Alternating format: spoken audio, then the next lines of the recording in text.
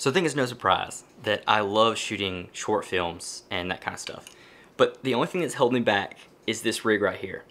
I'm sure you guys have seen this in other videos, um, but this right here has been the bane of my existence for the longest time.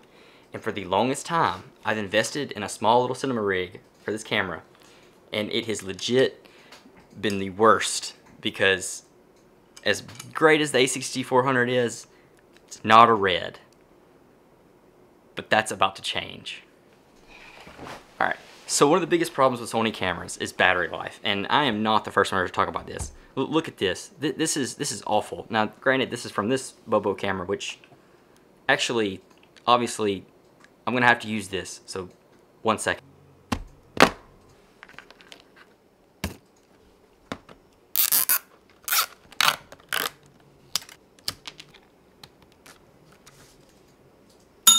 Anyway, that's better.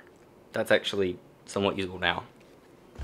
Um, but basically, it needs more battery power. And I don't know if any of you guys have ever looked at like V-mount batteries or like even the Sony, like the bigger Sony batteries uh, that go on my monitor. Either way, they're expensive. I think they're somewhere around, if you get the actual battery pack, it's $60 and you have to add in the cost of the dummy battery and then all the accessories to make it work. So it ends up coming out a lot.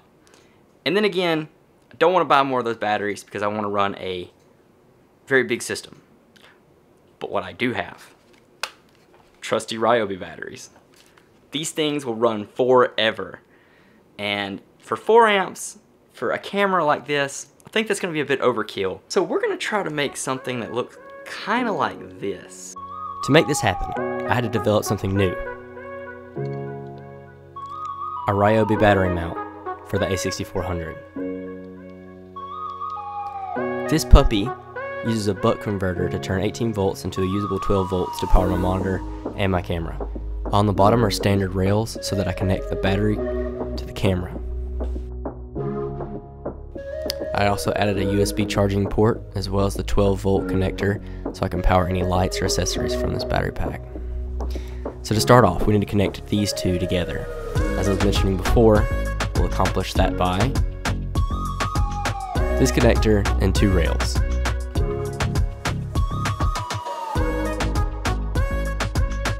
To start off, we need to put the camera back into the original cage.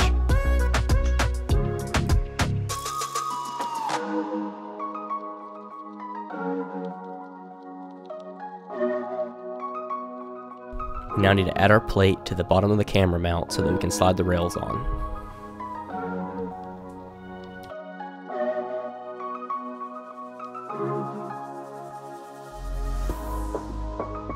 And now it's just a matter of connecting the battery to the camera.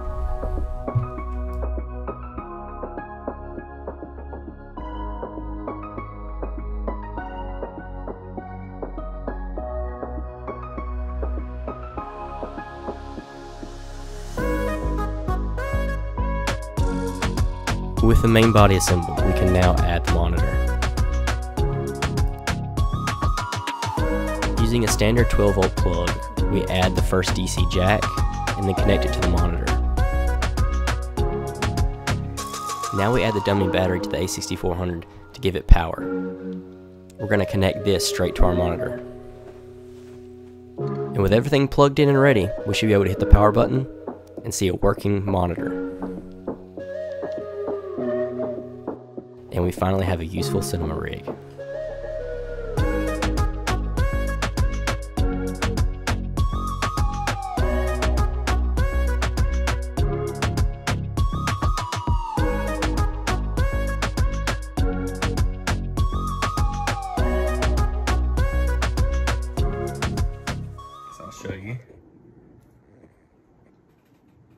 Prove that it is all working over there. And because I'm doing a lot of traveling, it'll go in this nice Apache case.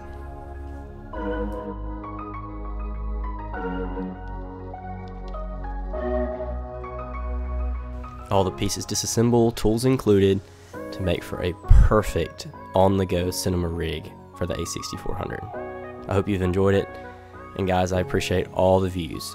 Thank you so much, and I'll see you guys next time.